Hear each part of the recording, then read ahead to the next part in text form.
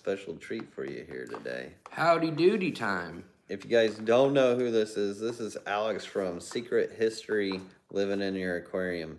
You got all that.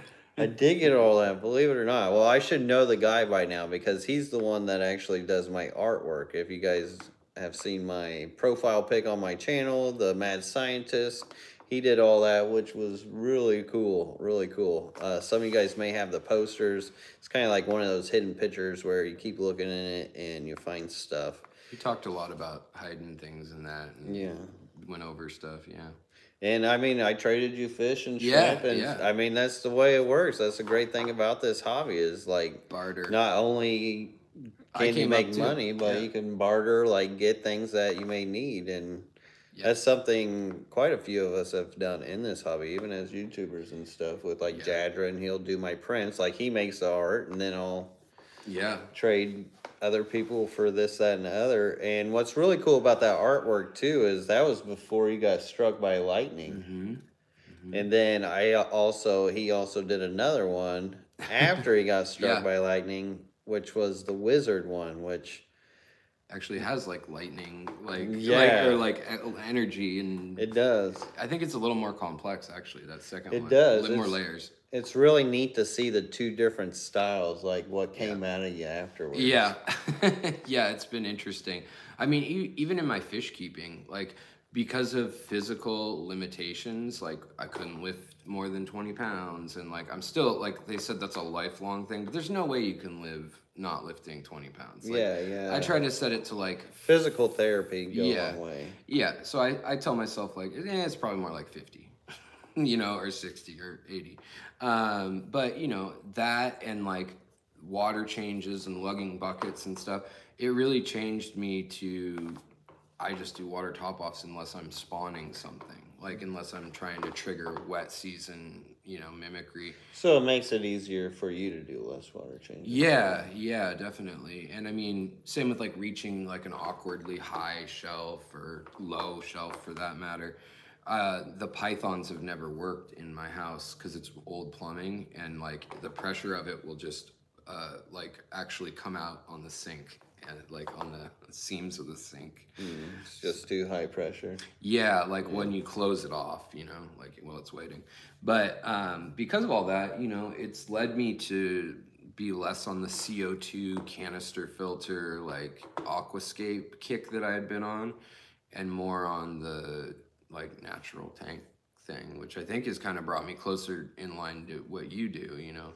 Well, that was kind of my evolution with it too. I used to do the CO2 tanks, like the whole Dutch natural Mm-hmm. Yeah. style, like really, really beautiful tanks. I remember that guy's house you went to also. That, Oh yeah, that- Michael Sizemore. Yes, that's- was yeah. really nice. Yeah. He was dedicated to those. His maintenance, he was scrubbing and cleaning all his canister filters, yeah. and it takes a lot of work to keep those kind of things. You can kind of balance them out though, especially with a good filter and a good dirty filter. I've learned Yeah. with my aquascaping tank that I had from 2017 aquatic experience. Mm-hmm.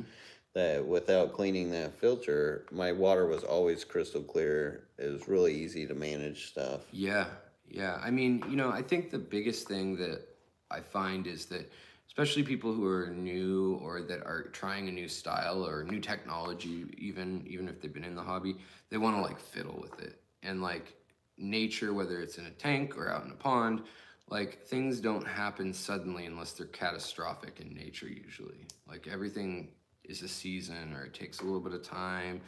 Or it's like a flood or an avalanche or earthquake, and that's when crazy things go on. But you know, people want to meddle with their stuff, or they want the algae to go away, or they want this to happen, and like really patience and That's where w- having one tank becomes a problem. yes, And I yeah. think that's what Yeah. helps save me because I know I like to fiddle. We like to play with our tanks. Those who, some of us do that. Like we really like to get into our tanks, do things, mess around with Yeah, them, create aquascapes, and do this and that. So the more tanks you get, the less likely. I don't know. You you spend your time on doing what you like. yeah. It all evolves. There's so many evolutions within the hobby. I feel like it's nice too though when like you have a fish room where you've got you know everything from shellies and like more alkaline or harder water whatever you want to call them fish to like soft water like little tetras and shrimp crystal shrimp you know And so you also kind of have like, I'm gonna go to this biotope, or one where the whole food chain, like for real, like all the way up to Daphnia, is like thriving in a tank right over there. And then others where maybe it's a little more like, you know, that couldn't coexist with the fish in there. Like your your barbs, they're gonna clear that out immediately. Oh yeah, they yeah, they would chance. chew that up. Yeah. yeah. But you throw in some breeder fish into that tank. Yeah. Oh man, you're Yeah. definitely gonna have fish and babies because they're not gonna be likely to predate on their eggs and stuff because Totally. well, looks like they got living eggs floating around everywhere. Yeah. It was so hard to get on this live stream with you guys because we were distracted by like Yeah. all the just different randomnesses of the fishing that goes on in here. I think we're both uh, big appreciators of like the little things and like, oh, look what this fish is doing. I haven't seen this behavior. Or, this plant is growing really interesting under this light or whatever. So I think, yeah, we end up kind of getting excited almost to the point of like talking over each other. Like, oh, check this out. Oh, no, no. Uh, yeah, you know. because you got story, and Yeah. story, and Yeah, and it's it's good to be in town and to like get to chat in person with you know somebody who's into it like that because there's people in Seattle, but um, I feel like our our vibe on the way we like keeping stuff. I mean, I've learned a lot from you, so I have to like thank you for that as well. But I've also read Walstad. I've also done my own little twist on things. You know, pick stuff up here and there. But definitely, I think like we see eye to eye on like a lot of even just the way we like to keep stuff. You know, so yeah, I think a lot of it is just that connection with Mother Nature. yeah, Like yeah. if you got that connection with Mother Nature, it's not as hard as people like the one of the biggest problems with me getting and sharing what I'm doing here was the fact that people thought I was doing something magical here. Hence the whole wizard Right, poster and everything right, else. right. It was kind of a play on that yeah. because I'm not really doing anything. Well, actually, in essence, it's nature's magic. It's like putting Yeah. algae and water together. You're going to create all this extra that comes out of it. So, but it is simple. They're just simple ingredients. Well, and you know, you aren't though using necessarily. I mean, maybe in some of your shrimp tanks or something where you've got Brightwell, but when you're going out and you're getting sediment from your yard, you got all the micro minerality, all that bacteria, mm. fungi, archaea, like all that rich, literally billions of, or well, right around this part of Florida, it's almost a billion year old bedrock. So I mean, you've got an old, ancient, everything from the stone to the coral, crushed coral and sand, and you know the organic layers that have fallen. So everywhere you go, anywhere in the U.S., it's going to be different. But like with what you've got set up, you're really, you really are seeding the food pyramid, the trophic levels from the the foundation you you've got the door open in here. I mean, there's moths that come in, and people might think like, oh, whatever, it's a moth, but it may have spores of, you know, some uh, fungi that's an aquatic fungi. We don't know. Like, there's so many crazy, weird little things that that eventually, like, like where does the nitrifying bacteria come from that gets into your tank? eh, No matter where you live in the world, you know, it's like it gets in there. Yeah, it's in the air. Yeah, Like there's yeah. an essence of it. Yeah. it gets around. It's it's weird how it just pops up. Yeah, it's it's pretty wild, and I mean, same with most of the cycles. I mean, most people know about the you know the nitrogen cycle, but there's a carbon cycle and there's a protein cycle. I mean, there's all different cycles, um, and a lot of them we just don't focus on in the hobby yet. Uh, but somebody has somewhere in a paper or in some research, and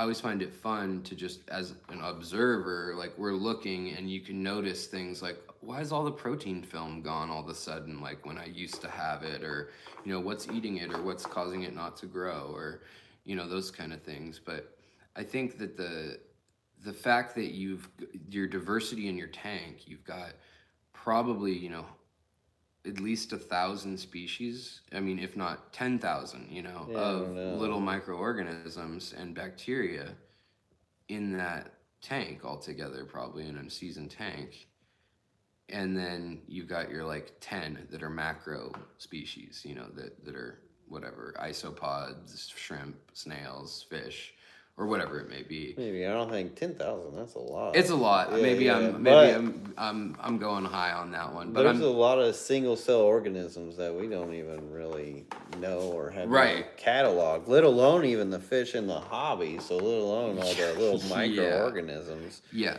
Actually, man, I meant to show you these worse. ones I got up here that they're I don't know what they are exactly, but they're really neat looking. He's Another that- that microorganism. one is scooting through the mulm. Yeah, pygmy chain loach. I need to Oh, get some yeah. rock piles for them. Oh, so we gotta quit looking at the tanks. Oh dude. right, yeah.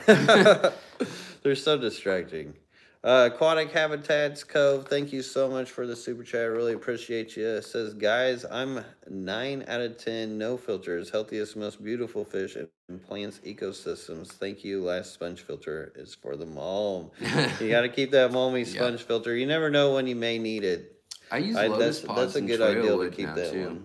Yeah. Like the lotus pods actually will seed a tank really well, like with algae and you know bacteria. Lotus pods. Like it's what's left over from the lotus. Like the it's like Oh. yay big. It looks got holes in it, and you know it's like a weird. It looks like an alien, you know, botanical. But yeah, it's just it's nice because the inside is honeycomb of botanical, like of of like some sort of you know tannin, like it's cellulose matrix, I'm sure, but it's it, it's covered in surface area, so it's just full of bacteria. You know. Uh, the one thing when she says about healthiest, most beautiful fish, plants, and ecosystem Mm-hmm. is you do get to see your fish in a more natural state when you they're not fighting to be on a treadmill like a Right. a filter or something. Yeah. Or even if you do have an airline, maybe just turn it down a little bit. It doesn't have to look like it's a cooking stew, and that'll actually help you with your splatter too. You really only need a little bit, if any. Yeah, I've been amazed, you know, at the species that I was told like these are hill stream species, or you know, Yeah, you can't yeah, keep them. you can't keep them unless They won't breed. well oxygenated. I proved that one wrong. Yeah, and there are so there are very few that I've found. Like I will agree that like a trout, yeah, it needs either cold cold water or It's a big fish. yeah, it is a big fish too. But I mean, we're, that's not what we're talking about in the hobby. So, um, you know, most of the ones that I've been told time and time again, like you got to have this or that, it, it, they work out fine in, in the tanks as, as long as there's some surface area open. Like if you've choked it out Yeah, so that's, the another one. trick too. If you do no filter, and this definitely needs to be expressed. If you're doing lids, it's a lot harder to do no filter because you don't have that atmospheric exchange. Mhm. So if you do have lids, I recommend airlines. I I I- would not do lids and no filters myself personally because there's just not enough atmospheric That's, exchange. that's an interesting point because everyone I know who does filterless like as their main way of keeping myself included don't I don't do lids unless I absolutely have to for some like betta that jumps like crazy or Kind of seems like that's the natural evolution of it. Yeah, you're just kind of like becoming one and more closely like until you've like morphed into an aquarium. Right. and I got to the point where I was like, I'm gonna even train my rainbows not to jump. So yeah, yeah. I mean, because some fish they do need lids. Mm-hmm. But if you do have that kind of situation, at least leave some air in Yeah. between. yeah. That will save you because you can suffocate them. Yeah. If there's not enough airflow. and like uh, the um, the labyrinth fish, gr- like the whole group, whether it's gouramis or bettas, they actually need humidity over seventy percent, or their labyrinth organ won't. Form. Oh yeah, they'll be breathing in that dry air. Mhm. Yeah. And so it won't form right, and then their mucous membrane won't allow them to do it, which also will screw up how they make the nests, the bubble nests, if they're if they're they're nest builders. Um, but I just recently learned that, and then saw it from I bought some that were locally bred, and this guy, um, I ended up asking him because I realized like his bettas can't, they can't make nests. They couldn't they couldn't make like floating bubble nests, and I was like, why won't they do it? And uh, you know, I asked him about his setup, and I'm I'm almost positive that's what it ended up being. That's interesting. Yeah. Like dried it out or something. Yeah, because they use mucus from there, and then they kind of like froth it in that cavity, and then they like spit it out. And, Yeah, because it's got to be able to hold that bubble. It's got to Yeah. have that insulation to hold Yeah. that air and That's very interesting. Yeah. Uh, thanks, uh, uh, Sketty. I appreciate that. Yeah, I'm getting my teeth done on Tuesday, so uh, basically, yeah, getting getting re- chompers redone on the bottom, and then uh, I won't have any for a while, so I'll probably look worse off than I was, and like a chipmunk. But then, uh, then they'll I'll come back down in uh, like four months or so probably, and then they'll have a full set of uh, of Yeah, implants. so you gotta do another trip down here. Yeah, I mean, which I'm not complaining about. Yeah, yeah, I, I Florida. literally- yeah, I've I've come down to this area now four times in a year, and I haven't been to a white sandy beach once. Like I've been in the swamp to the beach, entire guy. time. Yeah, so hopefully my wife's coming down for four days after like after the the surgery, and so hopefully we'll like go frolic on the beach. You know, white. I'll I'll get a white horse and ride it through the the Going full tide. novel there. yeah, yeah. grow my hair out. Uh, there you go. uh, that's hilarious. Chris Traps wants to know how many aquariums you have. I've got Right, 30 at the house right now. Do you really? That's yeah. quite a bit. And then I've got uh, eight tubs right now with four with stuff in them. But I mean, it was 38 degrees the day I left. So outside, I got dojo loaches. Hmm. Just put gold barbs out there because uh, these ones were born outside last year. And they survived all the way till November out there, and then I pulled them inside just out of fear. But I think they can handle freezing uh, if they're raised that way. I think the more ornamental and long fin varieties you run into, they've been too acclimated to to this those yeah, tank. Yeah, they're, they're not being selected for hardiness anymore for a long time. But um, if you just get plain ones, uh, the rosy barbs and the gold barbs are, are pretty cold tolerant, pretty hardy fish. That's know. a big reason why I let my doors stay open too. That way it's not like a consistent temperature in here. Even though like it can get up till it's not until it gets past 89 that it really starts warming up past 80 in here because the Right. tank there's so many tanks that hold yeah, the heat and stuff. But yeah, it's like a heat sink. it helps keep them from. But like I mentioned to my audience often, is a big reason why I don't keep discus too because it's like a heat sink. Yeah, Yeah, warm up the whole space. Yeah, and and they're just they're kind of a fickle fish too. I feel like they're kind of a trendy fish sometimes that kind of gets like people that uh, like are into the objectifying of the fish for a collection thing. I'm not gonna say that about everyone at all, but but it's kind of like flower horns or things like Where that. Where they say it has to be this. Yeah, it has to- be yeah, and it- they can't a just lot of times I've found that that's not Yeah. the case. Yeah. and they they tend to like have categories where it's like oh i know this to be this or whatever and it's like just enjoy it for the beauty that the animal is you know like i think the natural discus are incredible Like, Oh my uh, God, those, wild discus, those Dr. things are Anthony beautiful. ones, Yeah. man. Oh man. grant has One day, I'm hoping Grant breeds his because I would Yeah. love some of them. I'm Yeah. not set up for them yet, so yeah i'm not I either might play anytime soon. But i'd want to do it right i'd want to get like a 120 you know or something like have get like a big tank and do like a, a, a true Pantanal or like you know really fancy. oh, fancy that'd be nice. The Pantanals are hard to keep. Like a lot of those, like plants and stems Yeah. and stuff. it is tricky it is tricky. There, but I have the right water because my water comes out at like 20 TDS Yeah. usually. Yeah. Which is interesting coming down here because some of you guys down here have spring water that's like pretty soft. And Oh, pretty, this is weird yeah. because I got 170 TDS Yeah. normally out of tap, but then it's got all that mineralization Yeah. into it, so it's like soft, hard water. Yeah, and I was I was actually taking readings down in the field out here because I've been collecting all over and down by Tampa. I mean, the other day it rained inches of rain, a- Yeah. and, everything's flooded right now, like like little ponds and stuff. And you'll see that the water is black, but the TDS may be three hundred, and you're like, what? and Uh, it's because it's like the- limestone on the ground, and you know, like like cor- crushed coral all over the ground. Because that's what those the That's earth crazy. is. 300. Yeah, I found some that was that high, and then um, you know, also you get brackish. So I found one yeah, that was the salinity thousand. that yeah, Yeah. it'll push it up. When I was looking at a house in Fort Myers down in South Florida, it was Yeah. closer to the beach, and it would have 1100 reading, Yeah, and there's probably salinity in there. yeah, yeah, definitely.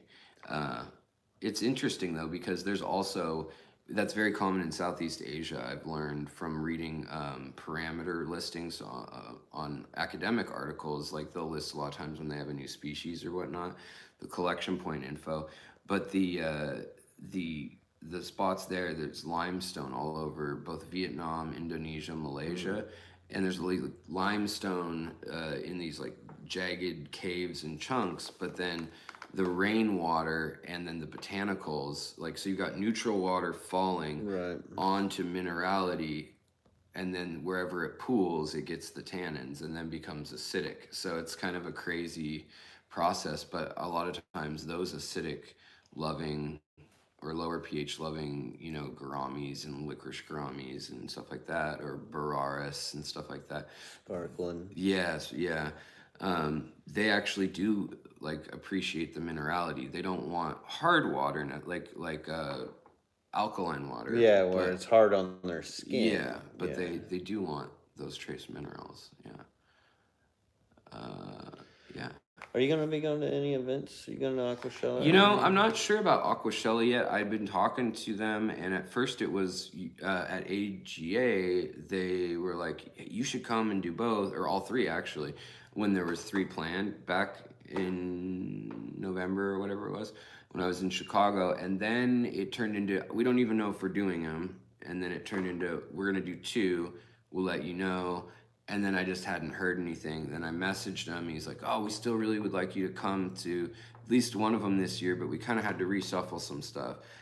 And I'm, I think I'm kind of not uh, the priority on the list right now. I'm not. Don't Didn't you say you were thinking about going to Aquatic Expo, right? yeah, yeah, that is what I was thinking about going to. Not to. sp- I mean, they didn't invite me to speak. Right, but to just check it but out. yeah, yeah, to check it out though. New event, and you Yeah. know, you never know. Yeah, and I'd like to do the Kalamazoo Oh, what's that? The, Uh, the two in the killifish? zoo. Yeah, the killifish and live bear. Uh, Sorry, I think about that day. Like I, that's the show I really want to go to. yeah, it's. I mean, I Uh, I, mean, I don't know the the I killie crowd that much, I love the killie crowd. dude. and and I'd like. There's not a big them. killie crowd, but they're the They're best. hardcore. They're hardcore. Yeah. The hard. The you Yeah. want to meet hardcore fish keepers? Get Yeah. into killie fish. Yeah. They are the most hardcore pe- people when it comes to keeping fish. for sure. Stella's cuteness. Thank you so much for the five dollars super chat. Super appreciate that.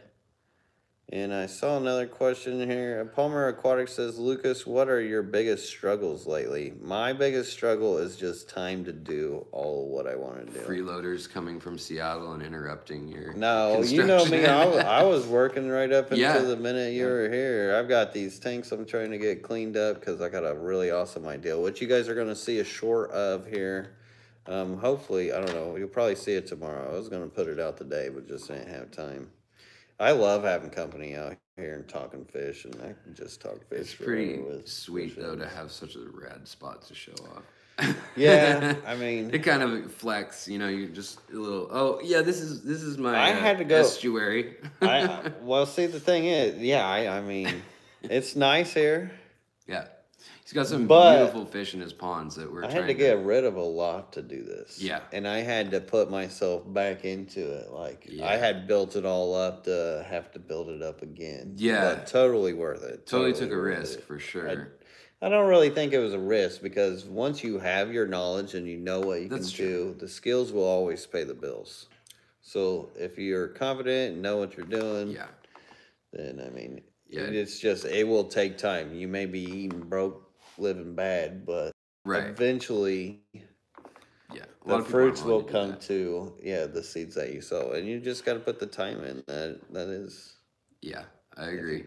all good things come with time. Um, am I thinking about moving to Florida? Well, my wife lived here for 15 years um, during college, like from 18 to, I guess it wasn't quite 15 years, but like from from 18 to 30, I want to say she, yeah, she lived here, and then she moved to Seattle, now she's been in Seattle 15 years. But um, you know, she says she'll never move back down here, just uh, the metro area wise, but um, we're both pretty sick of Seattle too. So I don't know. I want to move out in the country. She doesn't want that. She likes the she likes going to concerts and art galleries and aquarium. You know, just like the Well, stuff. that's when that you make that like offers. a monthly thing or Yeah. like a weekly thing. You get out of the country, go to the Yeah, city. you and know. I I'm like we don't do that more than once a month at Anyway, max. yeah, Anyways, yeah. like you know, like she goes to concerts probably once a week, but uh, she's a, little bit of an exception that way. Like she's always been a diehard music person. But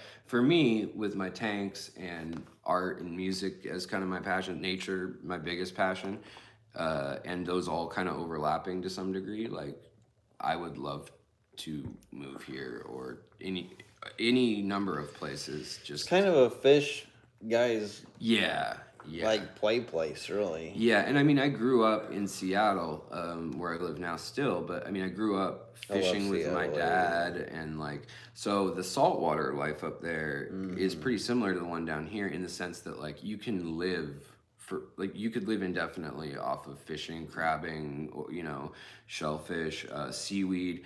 I mean, you name it, like the Native Americans that lived up there had some of the densest populations of any uh, any like non No, because they're so food rich. yeah so food rich exactly um, Mesopotamia is the only other spot that that like Oh, it was more it. rich. yeah Really? yeah That's so, interesting. yeah, it's, I mean, they think that there could have been up to two million people from like the Vancouver to the Portland, like, and then down the Puget Sound area, like pre-contact, and then they know that when even after contact, it was like there were still like fifty thousand at least natives around, and that's after two hundred years of smallpox kept coming through, mm. and you know just like a lot of moving around and stuff. So it's pretty well. What is that? What is that?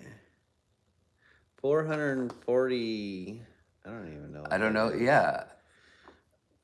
Thanks. Fungus Among Us. I love the name. That's my book name. Is it? Yeah. That's right, you did write a book yeah, on fungus, Yeah. I have a mushroom book That is called The Fungus awesome. Among Us.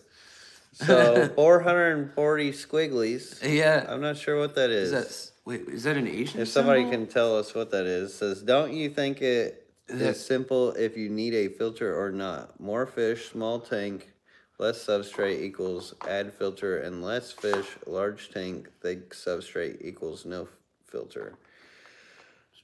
Um, so more fish would equal more filter because you need more beneficial bacteria to help keep up with the waste if you're overstocking. You need more surface area at least. But- When keeping a new tank, and I recommend this to anybody who's starting to add fish in there, you don't want to like go buy a hundred fish and add them in. You're gonna have a heartbreak every time because your bio load is not ready for that many fish.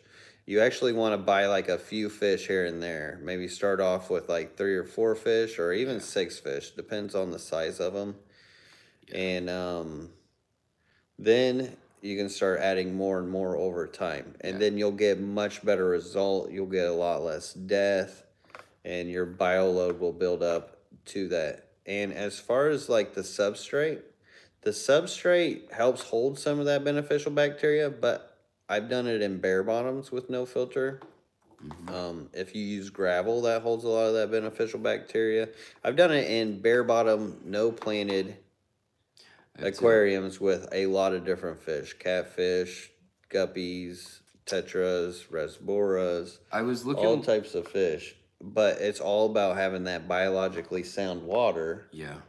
in there. That's the You know, biggest trick. And I was looking at that um, because I've I've done the same thing where I literally like put no- aquarium water. nothing i put nothing in the tank. And that that um can be very like it, there's not much room for error obviously. Like you don't have much padding in how your nitrates and nitrites and stuff are going to get dealt with that way. But um even just adding wood i realized that the film had cellulose and lignin and all these other properties. So the biofilm on the walls actually became much much more thick. Um, same with like adding just a few leaves or just a little bit of soil even. Uh, and it really allows a different aufwuchs or a different, you know, like protein Layer and bacteria and yeah. everything layer to, to take over and colonize. Um, but having absolutely nothing, you know, no substrate or anything, that it is that's tall order. But I've you know it happens. It, there's still enough bacteria, so. Um, it- Well, you look at see, so you look at the shows, fish shows that they put on. Sure. That's where I kind of learned that is like I was watching them throw all these fish that Yeah. you know they come from all these different aquariums and then they throw them all into a fish show where it's just water. Yeah, and as long as it's, I mean, you don't need a cycled tank if you're changing water constantly. You know what I mean? Like it's never gonna build up. Uh, so like for a fish show, you could. Yeah, and they're not even using cycled water. Yeah, they're not using. So if you're using on- cycled water, you're already a step ahead of Right. what they're using at the shows to put Yeah. the fish in. Yeah, yeah. And there's always the debate of like if the bottled stuff is anywhere as good as like uh, you know taking a inoculated chunk of media. I personally don't think it's going to be the same, but it seems to work. It just I think there's there's some difference to it. I don't, but I can't you know articulate what exactly that is. Difference with what? Like if you use like Fritz or one of those like bottled um, Oh, like cycling stuff, like they're the different types of bottle. flocculants and Yeah, whatnot that they yeah. have and Like I mean, bacterias that they it will help you jumpstart your cycle uh, if because it'll nothing. feed. You know why? Because yeah. it's feeding those yeah, microorganisms. If anything, you're putting food Yeah. for the microorganisms. Well, yeah, and I mean, I think it just kicks off growth of some sort. You know what I mean? Like so, something's better than nothing almost. But Yeah. but I I'm skeptical about them to to what degree they're like. Uh, able to keep that alive, suspended in the water and stuff. Like they need surface area, so I don't understand how they could sit six months in a bottle and like.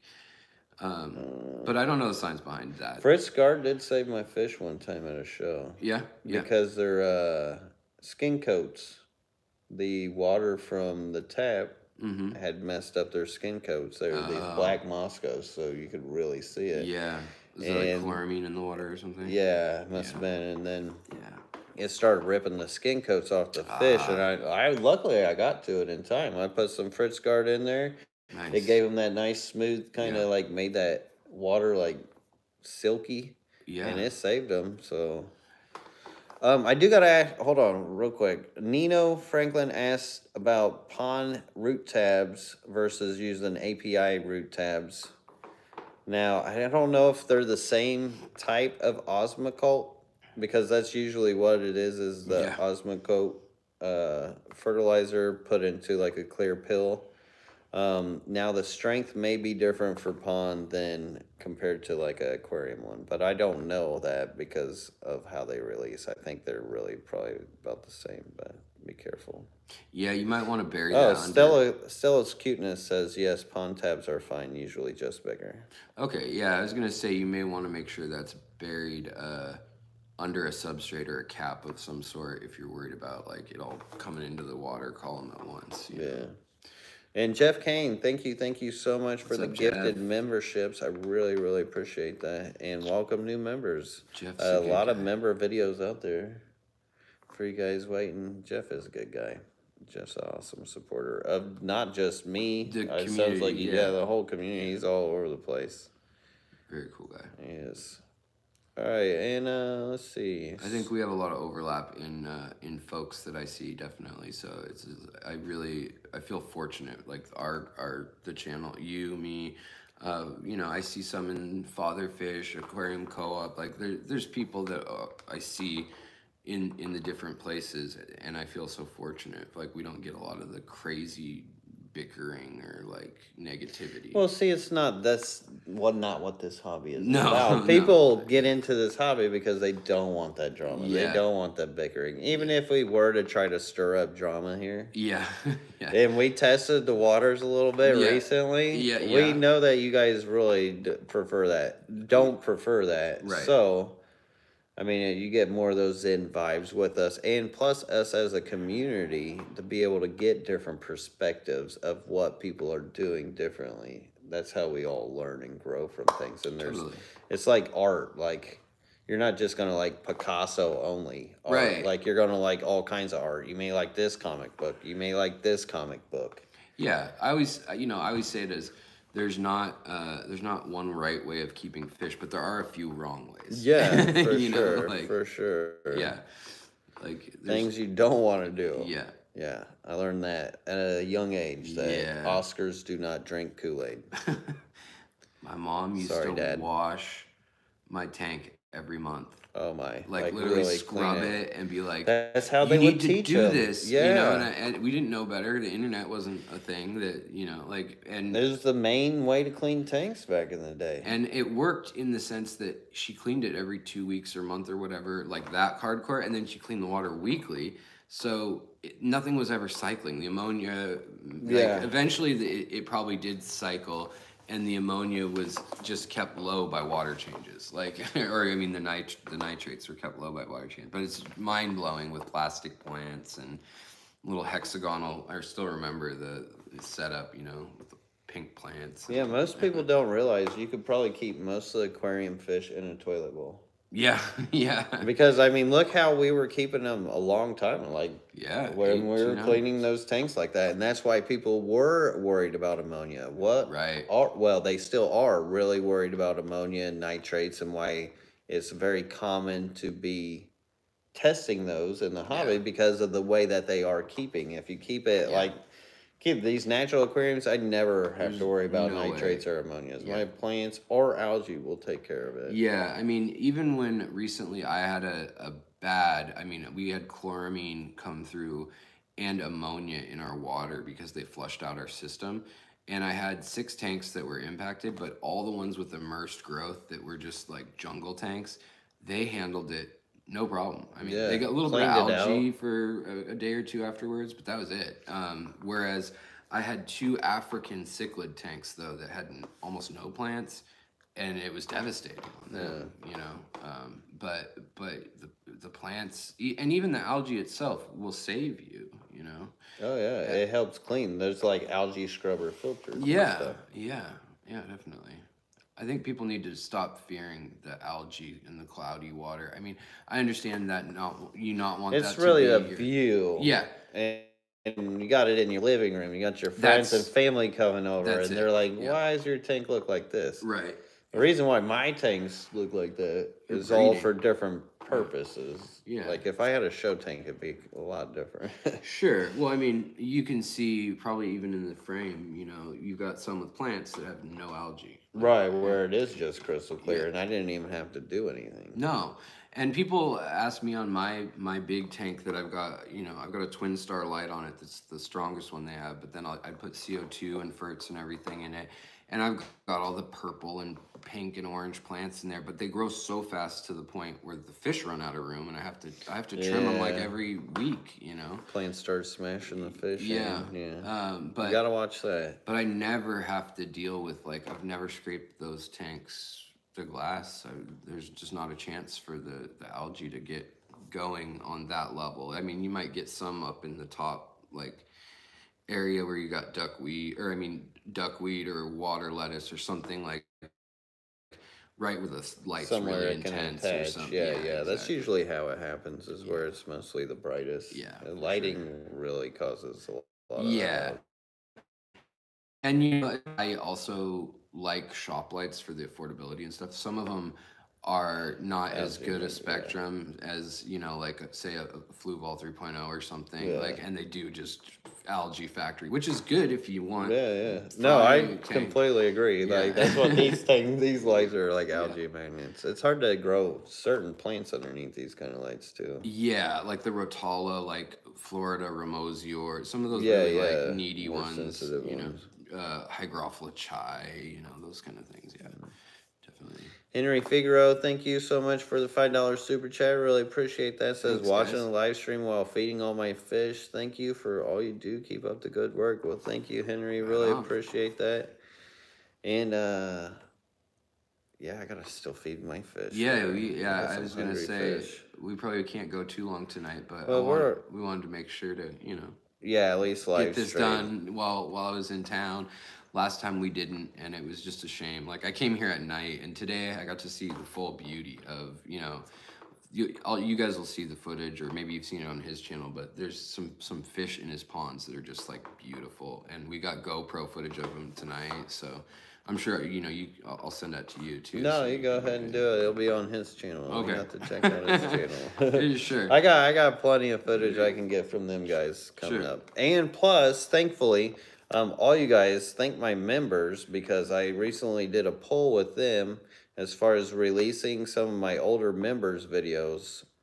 And they were all about sharing is caring. Go ahead, release them. Uh, we just really trying to support you. So thank you, thank you, all you members, just for being awesome, and hopefully you other guys will thank them as well because uh, I will have more of those videos coming out because one of them actually does have a, some of the pond footage, and Cool. that'll probably be the first one from that stash Mhm. that you guys will all get. So really excited to be sharing those with you guys, and You know- again, thank you. that's that's kind of the same thing with my members where like i want like i i set it at a dollar 99 and it's really arbitrary but it's just like a- i wish i could set it at a dollar eh, just for You that can. you can now oh Yeah, now they have like different levels you can set. Oh, okay. You can do like multiple levels. okay well maybe i'll do that now then Yeah. And maybe I maybe I can, guys. Maybe we'll have a new dollar level. Uh, but it, um, you know, the the the point on that was I put all my sources and research there.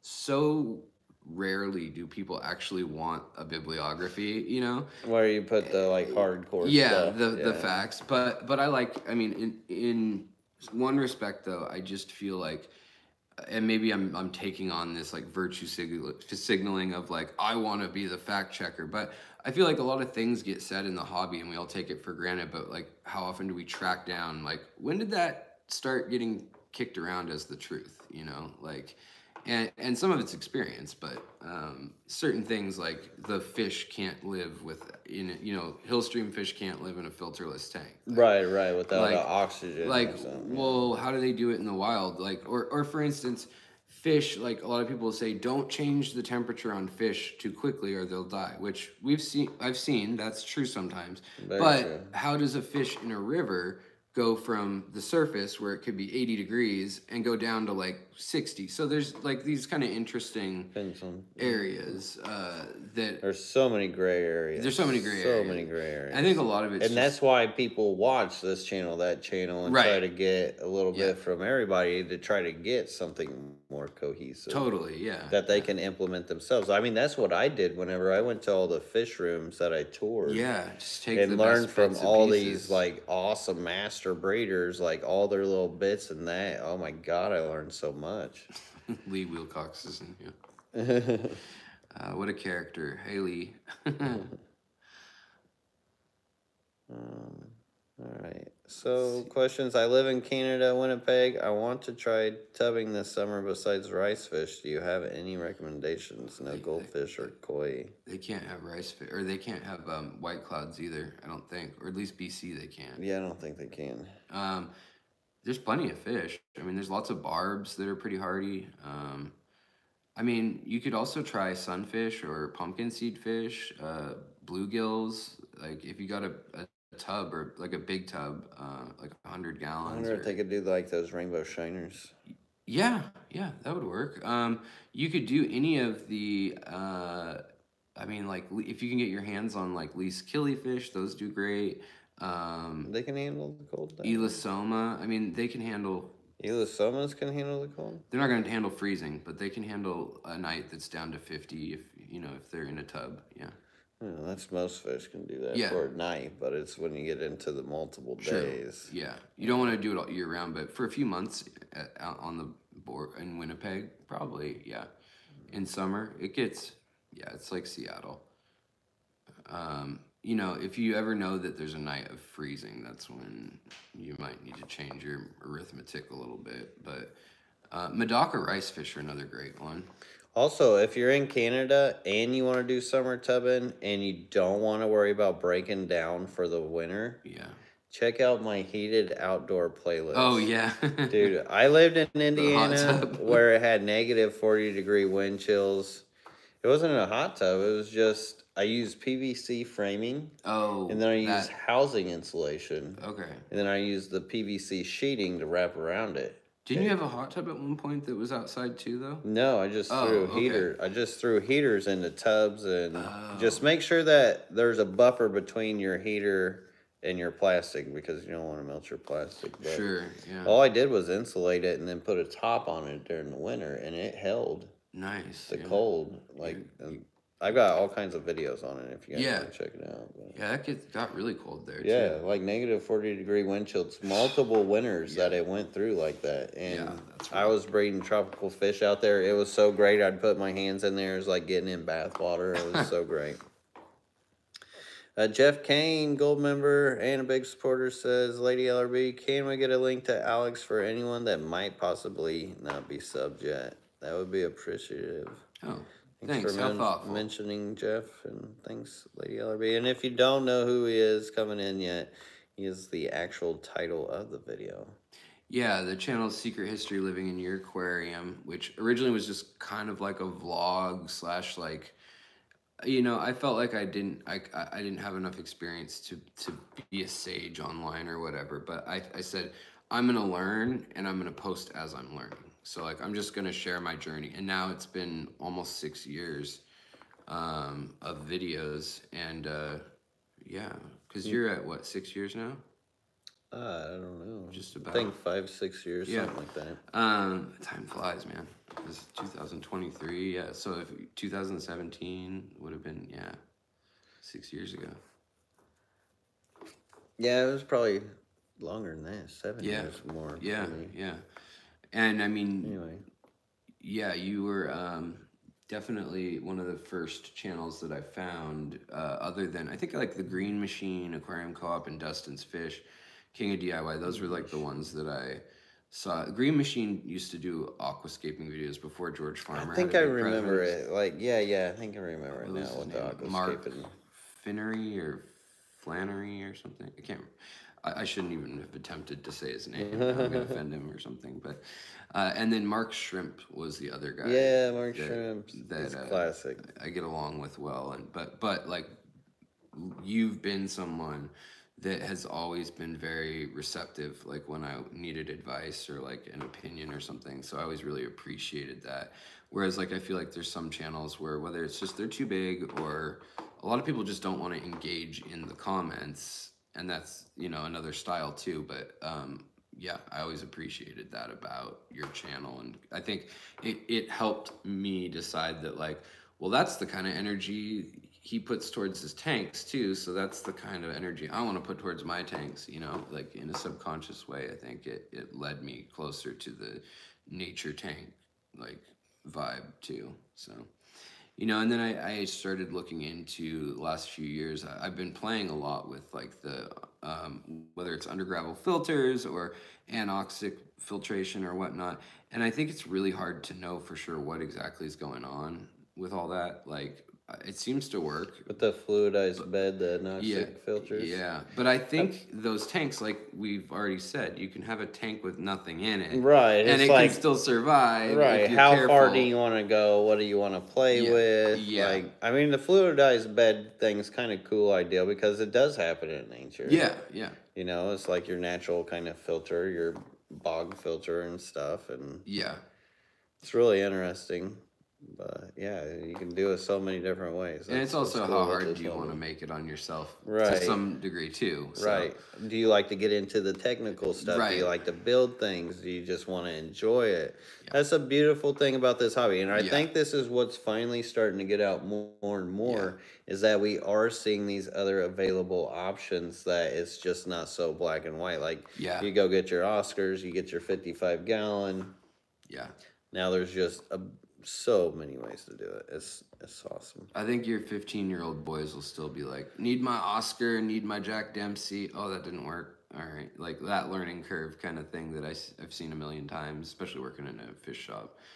Um, but, you know, with nano fish coming out and then with tubbing being a thing that like more people are learning about, like, and native fish keeping. And I I think there's just so many avenues of it. And the plants.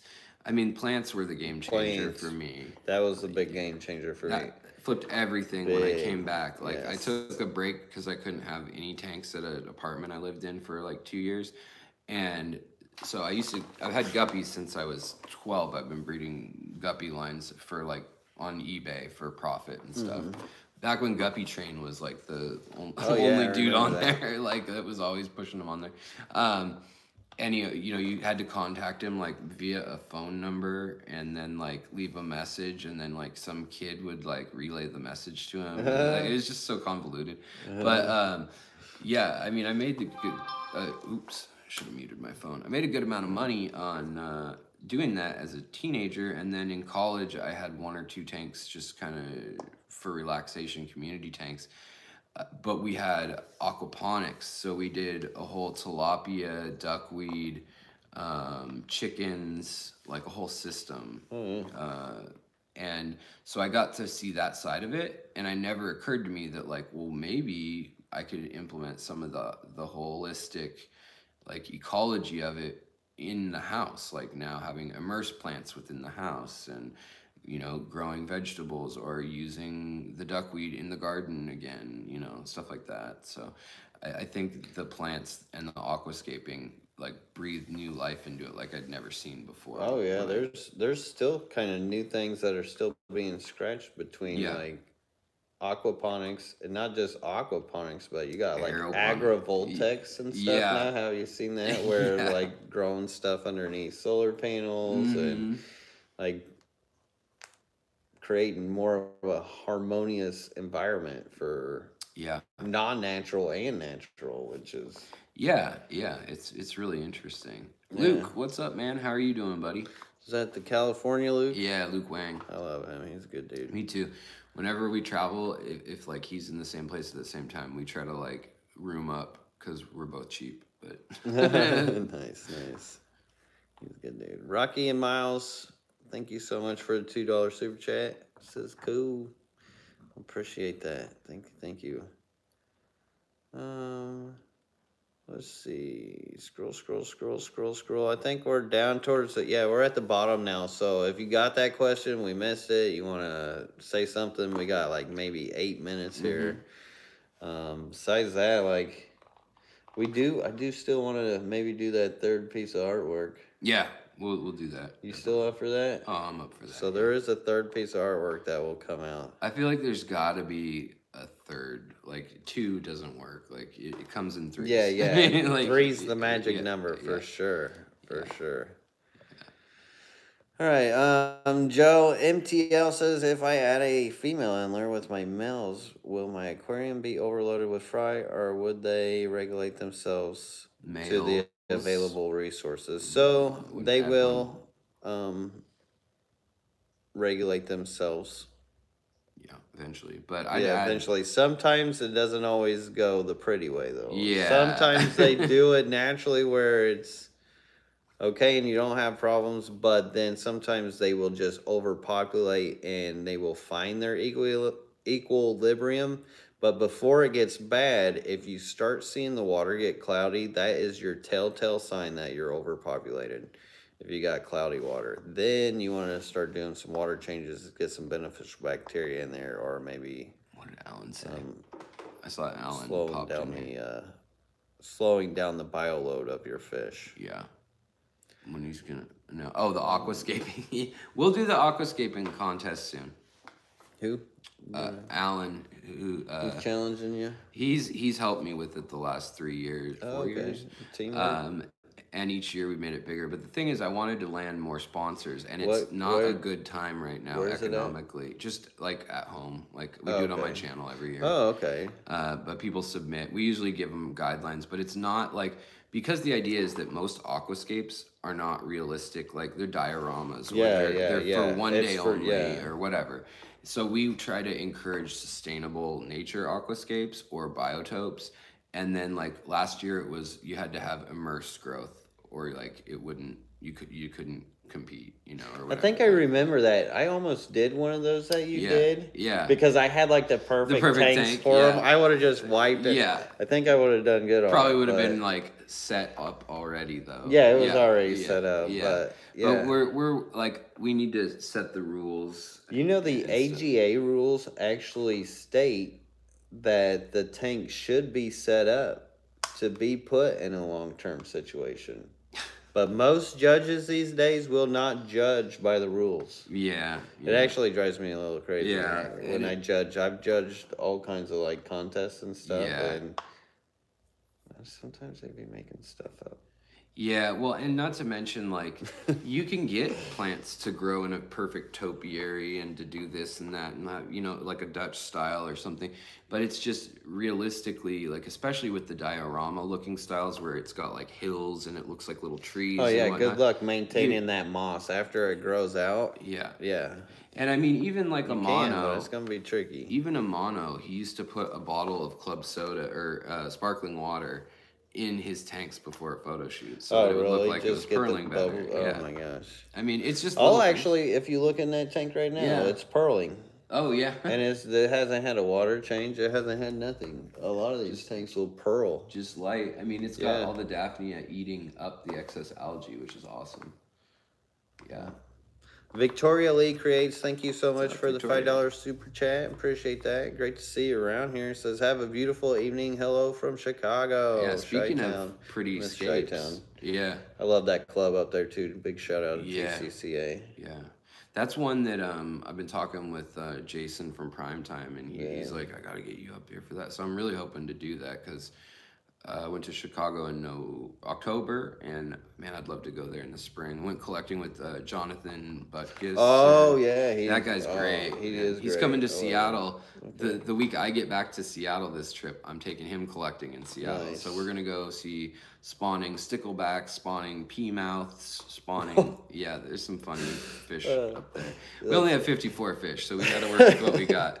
Uh, Just the two fish you start off. yeah, with. Sticklebacks, pea mouths, crappies, Good old crabbies. cutthroats. They've got funny names. Our fish, lump suckers. oh, there was a one of oh, it was a rainbow fish I was looking at, and the guy had it labeled RBF. I was just looking at the picture of that fish, and I'm like, did he really label that RBF for that? Because it totally looked like that was an RBF type of face. it was pretty funny. Um. All right. Let's see here. Scrolling McScrollison. Is there a difference, but difference breeding pygmy and pepper cories? Yes. Uh, I mean, or I mean, like genetically, or wait, what are we talking about? As The far as how to methodology? probably the methodology Oh, methodology. it's like, it's not that different. No, pretty similar. yeah, cold water change. Pepper uh, withstand a little bit more cold water habrosus. Pygmy are from a little bit warmer. Guion and Shield. Oh, Henry Figaro, thank you again for the five dollars super chat and awesome support. Says, will you guys do more live streams together? What does what does Lucas feed his rainbows? Come on, someone really asking that? But I think uh, I don't know. Will we do more live streams together? Yeah, I'm down. If you I wanna- don't know. I don't know. Yeah, uh, I feel like you know. I don't think we- we could do this again. No. Clearly, we don't get along very well. Uh, but no, I would like to do like a panel thing, like if, even when if I'm in Seattle and you're here, like if we could do We like could a show. still do where- that go live together Yeah. too at some point. Yeah, but like if we picked a topic of like planted tanks and then like Oh, yeah. like did like your t- ten favorite, my ten, or Yeah, you know, like and talk mentioned. something like that. Yeah, we were already kind of talking about at least a video or but a live stream. Yeah, sure, why not? Yeah. Yeah. I, I like these live stream Mm-hmm. formats because we actually we never know what's going to come out of them. No. And how we talk. I was just like, "What's the game?" He was like, "What's the game Yeah. plan?" I'm like, "We'll just set up a couple chairs, throw it on, and talk fish, and Yeah, yeah. see what comes out of it." I mean, the real problem is that I thought I turned that off. The real problem is that we'd be up all night. Like, you know, that that's the issue when I come into town with fish people. Is like we're, you know, you want to see everything. You are up all night. Yeah. So like I try to usually bounce and make myself scarce. So we kind of do have a bit of a compressed timeline, especially with my surgery coming up. Um, but like tonight was nice in that we got to hang out a while before we went live and and did and and there wasn't as much pressure of like I gotta film this fish room.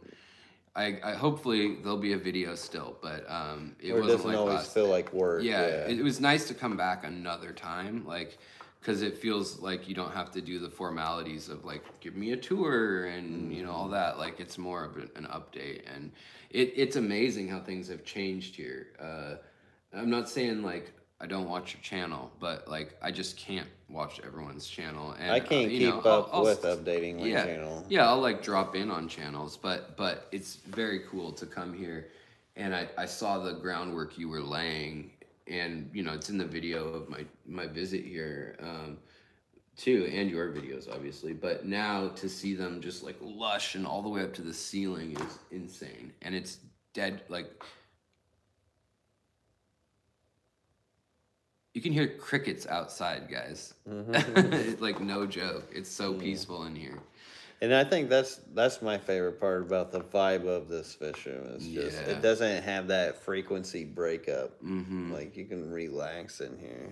Yeah, I mean, honestly, if you like killed the Wi-Fi even and just like, I mean, not that you hear Wi-Fi or anything, but I feel like if you just killed all the electronics, I wonder what the impact is on fish. Like they have so many other like weird little senses. They that, do have that. I wonder if any of if they get impacts them. tired of hearing the filter. I always wondered that. Yeah, like, that motor's got to drive them insane. Like, yeah, it's like having a fan always on. Yeah. I'm not that kind of guy. yeah, I hear you. I do not. Fans on, but um, let's see. Jeff Kane, thank you so much for the five dollar super chat. Appreciate you, Jeff, again for the awesome support. Cataclysma in Madison, Wisconsin this year. yeah. Yes, yeah, that's one show I still have not yet make the like made yeah. is the Cataclysma, and it's because it's more up north. When I'm living in Seattle, And- man, everything's so far away. It's ridiculous. Everything's a thousand miles away. That's the next closest. San Fran is a thousand miles away. That's crazy. It's more than that to Chicago. Or I mean, you got Portland at least. Portland, yeah, Portland and BC, but Vancouver, BC is kind of in its own world. Canada needs better fish supplies up there. They do. And hopefully I can talk to a guy to help do that Yeah. here sooner than later. See how things go. Um, but all right, we hit the hour mark and we're going to hop off here. But Yeah. thank you so much for joining. And Yeah, thank you for having me, man. Uh, it's always fun to come up. I mean, it's, it's a little bit of a drive from where I was at, but I I told him I was gonna be here at like what two or something. I think I said originally.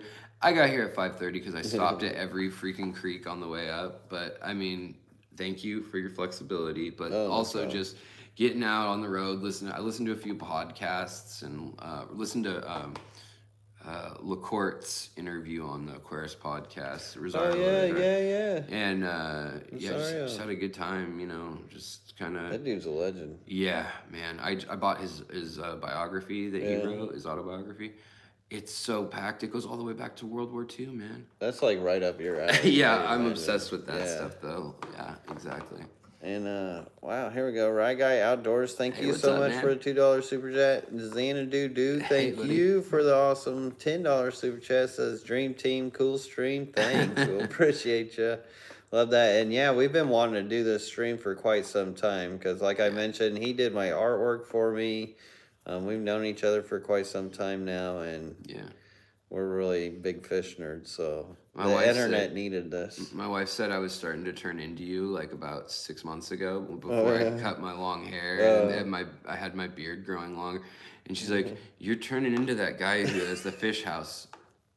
And she's like, she's like, "Is our house gonna look like that eventually?" And I was like, "I hope so." And she was like, "I Oh hope my not." But That is too funny. you know, she's, she's like, Oh how come God. all you fish guys have like a little bit of facial hair and like, you know, long hair? I was like, it's not all of us. It's just the the nature aquarium guys. I guess a lot of us are kind of like, you know, in our thirties or forties with a little bit of facial hair, a little bit of long, longer the nature hair. connection. Yeah, Yeah. Walk around barefoot, hug trees. You know. Right. It took me forever to get this. Yeah, that's that's commitment, man. It is. I Well, had a baby face for the longest I, time. I yeah. still do, man. I get carded like doing anything. they'll go out with my wife and they'll be like, "I'm gonna need your ID." Like, It's got to be a good feeling though. oh yeah, for me, Right, right. for her, I'm sure it's like uh, burn. Right. anyway. That's too funny. That's Yeah. too funny. But all right, guys. right. Thank you uh, for joining us, and uh, thank you for having me uh, over, hanging out, and uh, yeah, you guys. I'll have some video from my visit here and the ponds. We got some underwater footage, as we mentioned. And uh, sorry, I'm not posting many videos on the road, but after I have my tooth, the oral surgery in two days on Tuesday morning, uh, probably when I'm resting, I'll probably just edit some videos while, with that downtime. So yeah. Awesome. Yeah. Awesome. So check them out. Secret History Living Aquarium. Thank you all for joining us. Until next time, everybody, peace. Have a great one. Do do do do do do do do do do do do do. What's that? New tanks over there? oh, sneak peek. Oh, sneak peek. Is that 18 new tanks? it is 18 new tanks over there, or what over here? Ooh, ooh, ooh, ooh.